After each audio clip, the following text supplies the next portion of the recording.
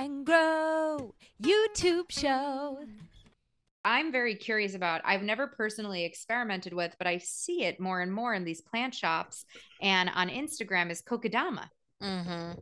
So Yeah, I mean, they're what's just so Kokedama's deal? Why does everyone love it so much? well they really just are very beautiful right and and it allows you to i think it's a more natural way of just sort of like you said the um the driftwood project.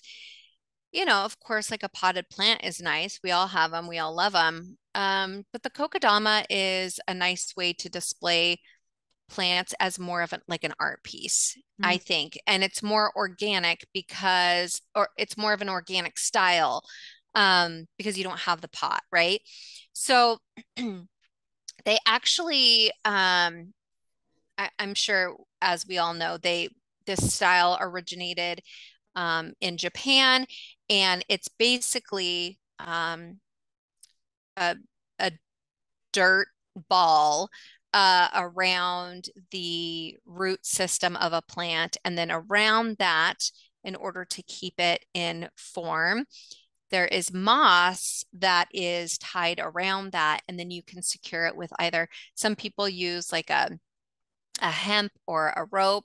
Uh, I like the the clean look, so we use fishing line so you can't see it.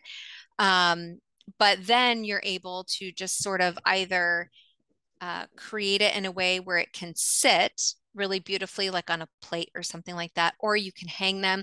You can get really creative with kokedama. In fact, um, I just I just acquired a couple of different Hoya that I'm I'm going to try to create uh, like a full ball of kokedama. So like not just one plant coming out of it, but kind of multiple plants coming out of different areas.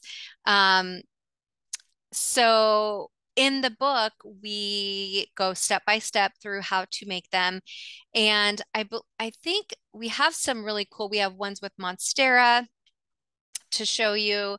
yeah, can Uh, you we- do them with any type of plant?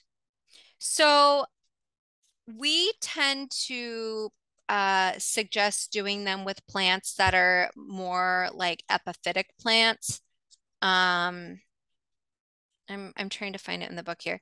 Um, because so epiphytic plants are like either air plants or plants that grow on other trees or plants in their natural environment. Um, a lot of those are like the climbing plants that we see. Um, so monsteras um, can work really well. Um, some begonias can work really well. Um, Rhipsalis, Hoya, any kind of like jungle cactus, orchids.